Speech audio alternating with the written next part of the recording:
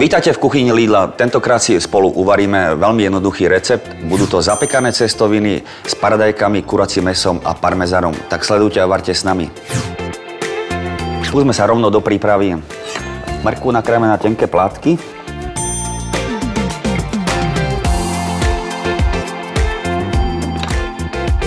Rozvareme panvicu. Vodu na cestoviny poriadne osolíme.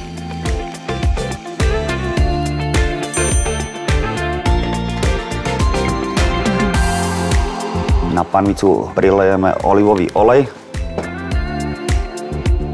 Dáme nakrájanú mrkvu. Ďalej slaninu nakrájame na podobné platky ako mrkvu. Kožu odstraníme.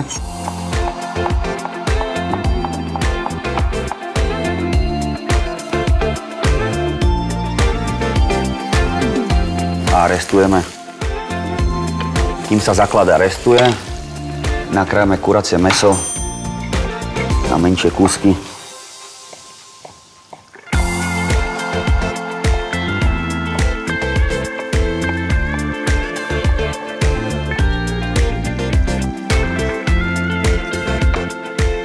Dáme na panvicu opekať.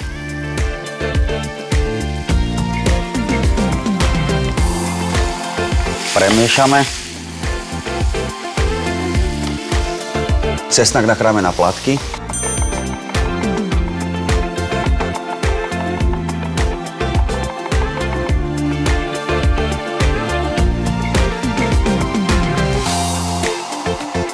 Mes osolíme, okoreníme.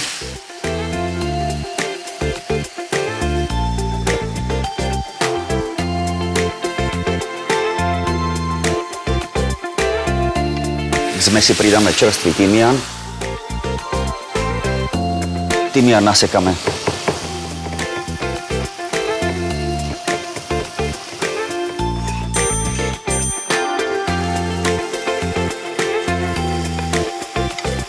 Voda na cestoviny sa varí. Dáme do nej cestoviny. Je dobré vždy cestoviny premiešať. Varíme al dente. Je lepšie ich nechať trochu tvrdšie než mekšie, lebo budeme ich zapekať. Do misy nalejeme smotanu.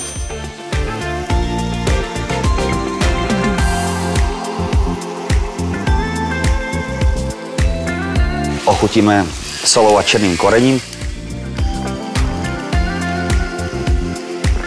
Tiež pridáme čerstvý týmian.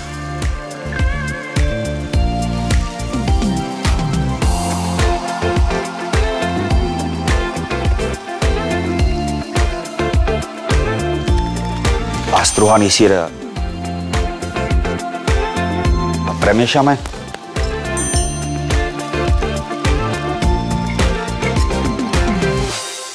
Mesová zmes bude čoskoro hotová.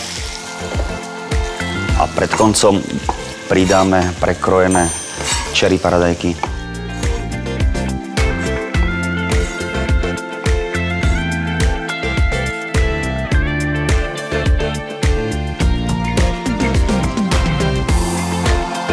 Stiahneme z ohňa. Cestoviny precedíme.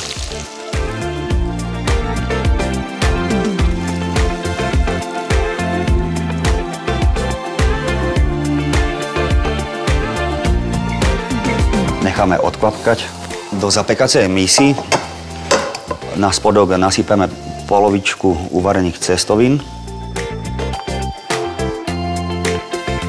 Posypeme pripravenou mesovou zmesou. Navrh dáme druhú polovičku cestovín. Ja tam dám trochu viacej týchto výborných žltých čerí paradajok.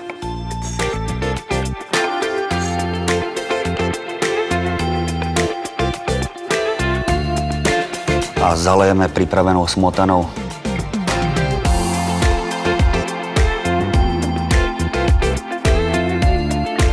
povrch trochu zarovnáme.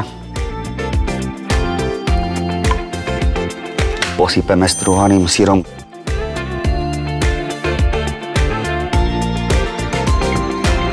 A takto pripravené cestoviny dáme zapiesť na 200 stupňov približne na pol hodiny.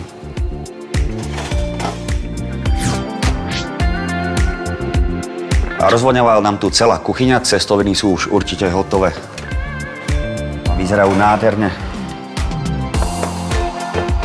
Môžeme ich servírovať.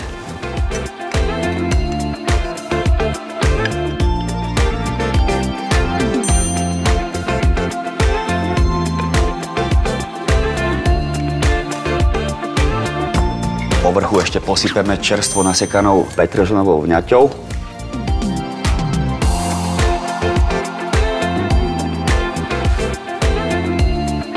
No a jediné, čo mi ostáva, je poprieť vám všetkým dobrú chuť.